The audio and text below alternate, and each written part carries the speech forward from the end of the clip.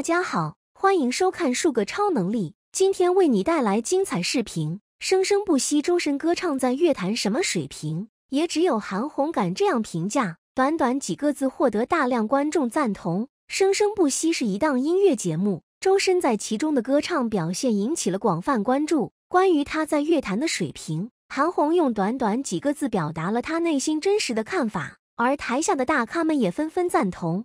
周深作为一位年轻有才华的歌手，他的歌声充满了独特的魅力和感染力。他能够通过自己独特的嗓音和情感表达，将歌曲中的情感传递给观众，让人们深深感受到音乐的力量。无论是在舞台上还是录音室中，周深都能够展现出出色的唱功和音乐才华。韩红作为一位资深的音乐人，对于周深的歌唱水平有着独到的见解。他认为周深的歌唱实力非常出色。他的音域宽广，技巧娴熟，能够轻松驾驭各种曲风和风格。同时，周深还能够将自己的情感融入到歌曲中，使每一首歌都充满了生命力和感染力。这种真实的情感表达让韩红深受感动，也让他对周深的歌唱水平给予了高度的评价。台下的大咖们也纷纷赞同韩红的观点，他们认为周深的歌唱实力确实非常出众，他的嗓音独特而富有磁性。能够吸引听众的注意力，同时，周深在演唱过程中展现出的专业素养和舞台表现力也让人印象深刻。他的每一次演唱都能够给观众带来不同的感受和震撼，让人们对他的音乐才华赞叹不已。韩红给人的印象一直都是音乐大佬，唱歌了得，高音吓人，很少有歌手能和他匹敌，人品也没话说，是明星中常年做公益的存在。这让他在娱乐圈却成了无人敢惹的存在，靠着一副好嗓子叱咤歌坛几十年，人气也从来没低过。然而最近韩红隐藏多年的背景彻底瞒不住了，被曝光后才明白这些身份才是让娱乐圈不敢得罪他的真正原因。这些被韩红隐藏起来的背景都有哪些？别人不敢得罪他，又真的是因为这些可怕背景吗？军人身份不简单，韩红不仅是位歌手。更重要的身份，他是位军人，经常能看到他穿着军服唱歌。如果网友仔细观察，就能发现韩红军服肩膀上是两条杠四颗星。在部队，一条杠是尉，两条杠就是校，而一星到四星分别就是少校、中校、上校、大校。也就是说，韩红在部队的职位是大校、士正、副师职或者副军职了，再进一步就是将军了。在一九八六年。年仅十五岁的韩红就参军了。喜爱唱歌的她本来想当文艺兵，但是被拒绝了，被分到了炮兵部队，在通讯站当兵。所以韩红是真正经历过训练的兵，这让她锻炼顽强的意志。在当兵的同时，韩红没忘记自己的梦想。幸得李双江老师的指导，唱歌的潜力彻底被挖掘。退役之后，就开始了歌坛之路，用一首《天路》征服了无数的歌迷。就算你不喜欢韩红的歌，但是你不得不承认她唱的真的非常好。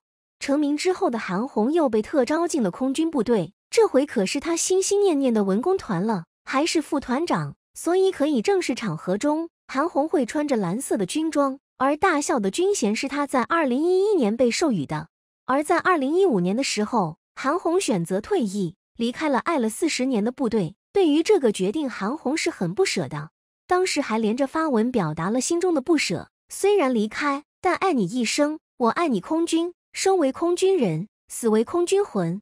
即使不在部队了，韩红也始终有一颗军人的心。他也说到做到，在自己有能力后，就投身于慈善事业。只要哪里需要帮助，哪里就有韩红的身影。家世背景了不得。有次在一个选秀节目中，有位选手表演的是相声，立马引起了韩红的关注。在和这位选手的沟通中，韩红说了不少相声的专业术语，还因为相声行业很看重传承。韩红又问了这位选手的老师，选手表示自己的老师是李金斗。听到这里，韩红也表示自己和相声有渊源，关系还不简单。她是刘宝瑞的孙女，刘宝瑞先生是相声界大师级的存在，他不拘于传统相声的限制，融合了很多艺术的优点。形成了自己的独特的相声风格，还有着单口大王的美称。刘宝瑞先生比郭德纲要高出两倍。如果韩红说的是真的，也就是说，他在相声界的辈分跟郭德纲一样。当时就产生了很多质疑韩红身份的声音，觉得他这是为了炒作。他姓韩，怎么可能是刘宝瑞先生的孙女？这是韩红才第一次公布自己的身世。原来他的父亲是著名相声演员韩德江，师承刘宝瑞先生，还是他最喜欢的弟子之一。韩德江不仅有相声方面的天赋，他自己也肯下功夫，肯吃苦。在刘宝瑞先生这里学艺的时候，把老师的相声功夫几乎学得差不多了，被视为刘宝瑞先生的传承人。作为韩德江的女儿，韩红自然就是刘宝瑞先生的孙女。她每次去刘宝瑞先生家里玩的时候，还会追着刘宝瑞先生的女儿叫姑姑。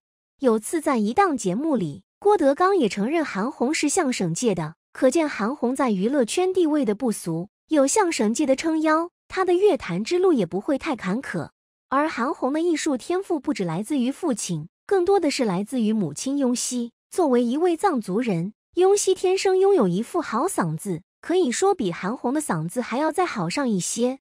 雍熙没有学过音乐，就是靠着野生的歌喉吸引著名歌曲作家马卓，说是有一首歌要让他唱，一直渴望舞台的雍熙立马答应，一开嗓子就征服了马卓。高声调还能唱得婉转悠长，就靠着这首歌，雍熙唱到了舞台上，还唱到了北京。这首歌就是《北京的金山上》。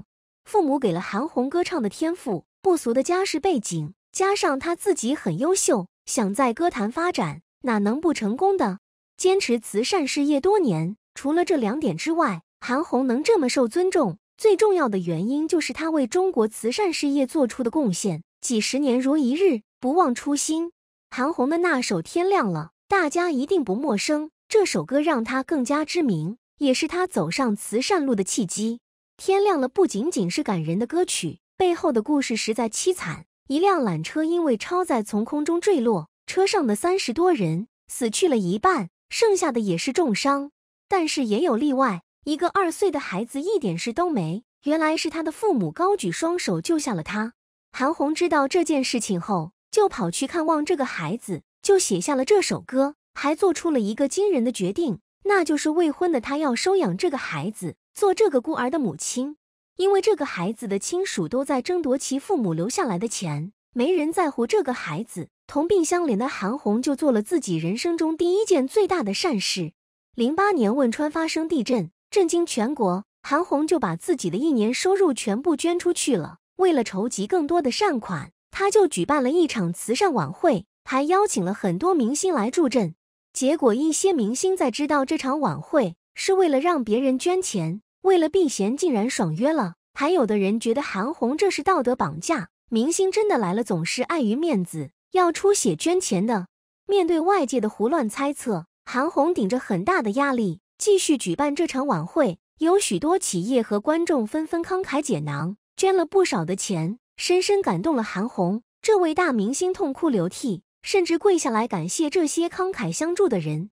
这场晚会让韩红看透了娱乐圈的明星们。在节目上说，中国的明星不算真正的明星，那些外国的大明星很多都很有善心，每年为公益事业捐出不少收入。而这些明星拿着千万片酬，却只想着自己。好了，今天的视频就分享到这里了，更多精彩资讯尽在数个超能力。敬请关注哦。